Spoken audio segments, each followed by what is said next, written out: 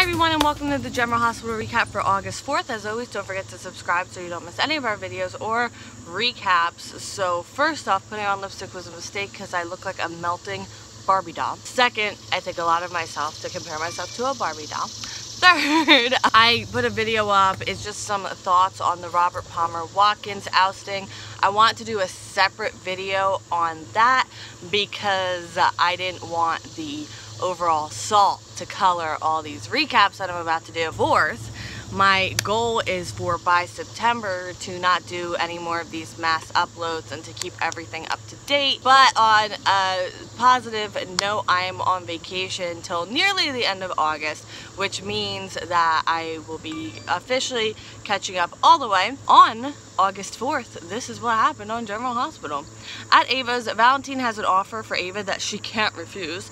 Personally, I think it's going to be a plastic surgeon because he got major surgery. He will give her her old life back and restore her face if she withdraws her statement about what happened between him and Nikolas on Cassadine Island. Uh, there's a cutting edge procedure and she says that she already did her research and no one can help and he's like I'm not tradi I'm not offering traditional care and I'm like okay so magic basically that's what we're at now we're at magic uh, he tells her about his scoliosis and deformed face, his words. Uh, he shows her his before and after.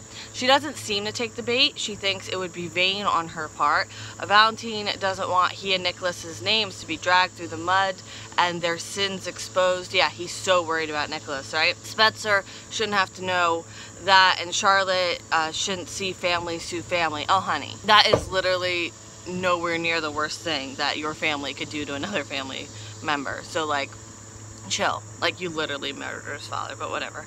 Well, personally, I believe that something else went on, but Tyler Christopher went to Days, so no, youngin. I think he went to, I don't know, he went somewhere else. So basically, I don't think we're getting that redemption story anytime soon. Ava won't change her testimony. She knows what she saw.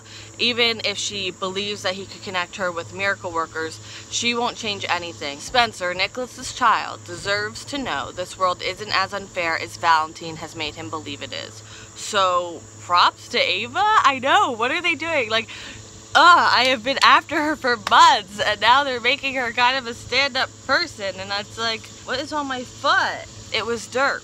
But seriously, like, why are you making me feel these things, GH? And that's the thing, the show is quality enough to make me feel these things, yet refer to other video. At Kelly's, Laura says that Spencer can't stay in Port Charles Spencer doesn't want to leave. He has so many memories of his father. She's re-enrolling him in the French boarding school. She thought Valentine was going to go to jail for a long time, but that didn't happen. Spencer promises to do better and he won't go to Valentine again, but it's too late. Uh, Spencer asks if she doesn't love him anymore, and my heart literally broke into a million pieces like that kid i swear to god we are gonna see huge things from him in the future like he's gonna win an oscar one day i'm calling it right now that Nicholas Bechtel, Oscar one day. Laura loves him and nothing will ever stop that and she can't bear losing him. He's all she has left. There's a wasp in the umbrella. But we're just like, we have a truce right now because he wants to do his wasp thing and he knows I'm doing something important here. Kevin says that they don't want him to leave, but this is in his best interest. Boys his age always believe they're immortal, but he's not. They don't say this to him, but the fact that being kidnapped and the kidnapper out being out there and that he constantly goes to Valentine, he has no concept of the danger he's in or puts himself in. So the one thing that scares Spencer is being all alone. And again, heartbroken in a million pieces. Uh, Spencer calls himself an orphan and Kevin says that he has so much family around him and it, that it's not his responsibility to keep an eye on Valentine. I have you won't be able to sue him, but I think the, the suit's still going forward, so I don't know why I wrote that. Spencer accepts that his dad would want him to have a long and happy life and not deal with this family drama. And he will go to the boarding school to honor his father and stay safe. At General Hospital, Jason asks Garvey who shot Sonny. He says you'll have to ask her and then goes into cardiac arrest of some kind, I think. I've been watching Diagnosis Murder a lot, so I know all the medical terminology because I'm a genius. Jason gets thrown out of the room. Unlike the true drama queen he is, Garvey dies. Because that's kind of been the theme here, and I kind of like that. My theme here is that Garvey's a drama queen, so that's what we're doing. So in true Shakespearean fashion, he dies. Uh, Sam is reliving some of her hallucinations, including one where she raised a gun to Sonny, and then the real memory at the distillery. She wakes up and she can't tell what's a dream or not. Deanna thinks that maybe it was the sedative that gave her like these, you know, more heightened dreams, and then Jason comes back. She tells Jason she had a dream, or maybe it was a memory, but it couldn't have been a memory because she would never do something like that. Uh, she says something's wrong, like she can feel it, and he says that she would never hurt the kids, and she asks if Sonny's alright, and Jason's like, ooh. At the distillery, the seconds are counting down. Carly won't leave Sonny. She physically walks him out of there. Well, as far as they can get. There was a leaf on my ham. Uh, Carly and Sonny the the first explosion goes off and we cut back and Carly and Sonny are under the rubble but like not totally but like enough. And Sonny at first is like super knocked out. But he wakes up and Carly tries to call for help and all of a sudden there's another countdown and there's no way they'll be able to survive another countdown. So Carly's trying to dig Sonny out of the rubble she's trying to get herself out and Dante approaches the countdown guy and says there's someone on the site. So Carly's getting the rubble off of Sonny and they realize the countdown has stopped uh, then the announcement comes that they will be conducting a search for someone on the site. And Carly's like, they know, they know we're here, they know you're here, Sonny, everything's okay.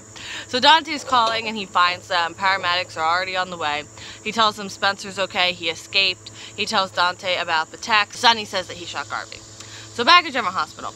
Carly is at the hospital with Dante. Sonny's in treatment. Forensics is checking out the scene, like forensics does, you know, murder. So they remove the bullet from Sonny, and Carly can see him for a few minutes. Uh, Sonny asks how she is. Uh, she says she's okay. You know, she's good. Just a little exploded, but otherwise fine.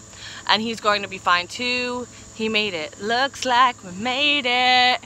Look how far we've come burn.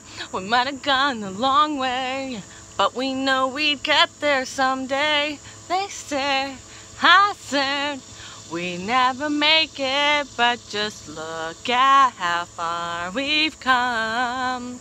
We're still together, still holding strong.